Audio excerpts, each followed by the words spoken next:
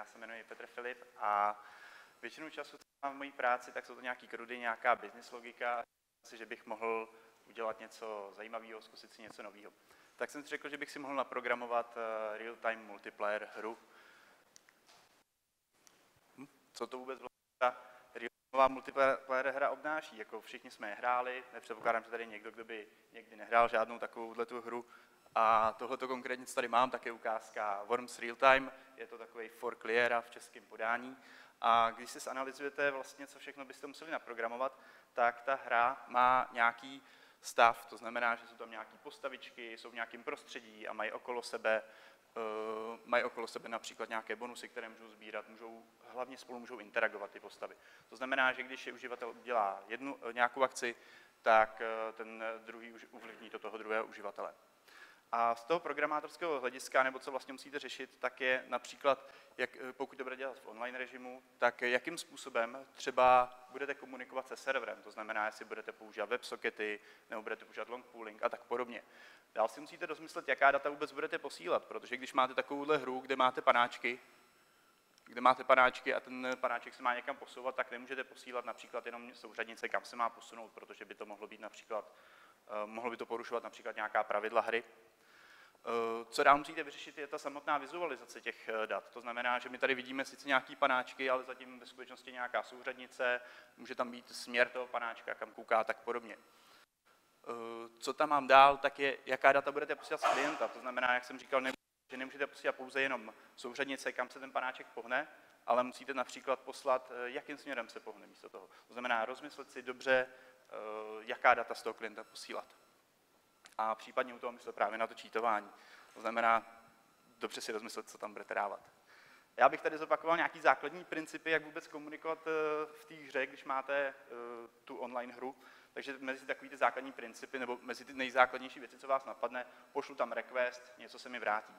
A tou nejzákladnější technikou je, je pooling, long pooling, a to spočívá v tom, že pokaždé, když, vy, když se stane nějaká změna v té hře, tak a vy jste připojeni na ten server, tak vám přijde i hned jako request. Což jako samozřejmě vede k tomu, že když eh, děláte, máte například frekvenci během frekvenci třeba 100 milisekund té hry, to znamená, že se, 100 krát, že se 10 krát za sekundu změní stav toho hráče, tak samozřejmě eh, vy dostanete spoustu, spoustu requestů a spoustu responsů.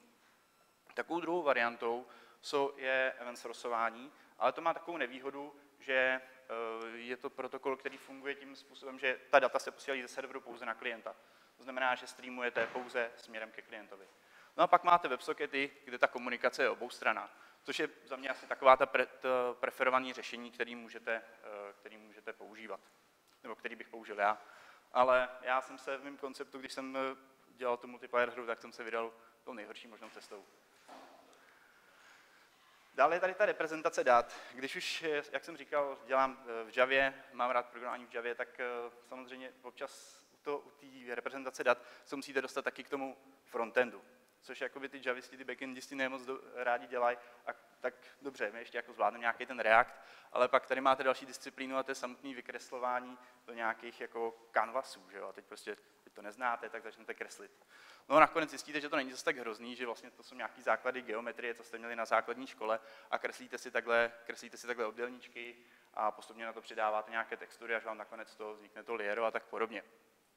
Takže vy se seznámíte vlastně s tím, když to začnete programovat tu hru, tak se seznámíte, jak vlastně dávat data do Canvasu, jakým způsobem je reprezentovat a čím dá a můžete tu vaši hru vylepšovat a vylepšovat. Co je hrozně důležité u té hry, nebo to nejdůležitější, to nejpodstatnější, tak je ten samotný stav. Um, když jsem začínal dělat takový ten microengine, nebo dělal jsem si takový ten proof of concept, tak jsem si říkal, jak se vlastně dostat do toho dalšího stavu, co se všechno musí stát.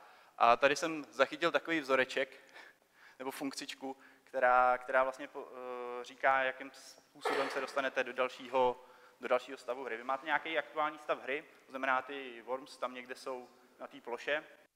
A ty hráči vám posílají impulzy, kam se vlastně pohybujou a vy na to aplikujete pravidla. A teď na tom backendovém serveru uh, říkáte, jestli, ta, jestli ten pohyb je povolený nebo ne, vytvoříte nový stav a ten stav pošlete zpátky na toho klienta. Ten klient si přerenduje zase tu obrazovku pomocí toho canvasu a zase vidí ten jeho aktuální stav. Takže pak ta ukázka může vypadat takhle.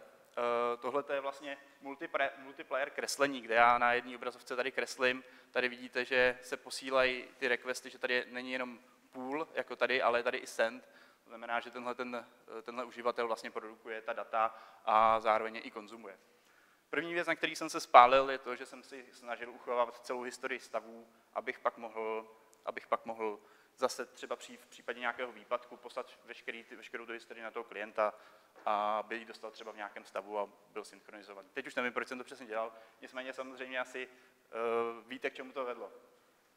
Out of memory. po nějaké době. Takže tohle byla vlastně moje úplně první online multiplayerová hra. Uh, takže jak jsem říkal, to držení toho stavu, zjistil jsem, že to je vlastně úplně k ničemu, takže jsem odmazal pár řádků a bylo to daleko lepší.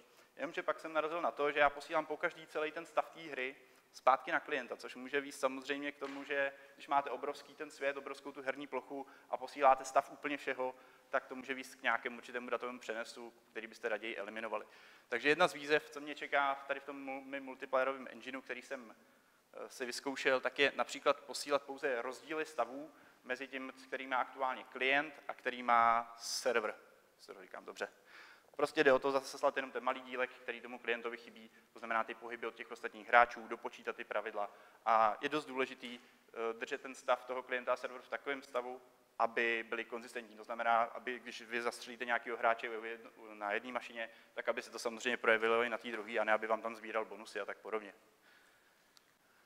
Takže kdybyste chtěli začít dělat novou hru, tak je potřeba si uvědomit, eh, že potřebujete nějakou vykreslovací vrstvu, já vám doporučuji Canvas.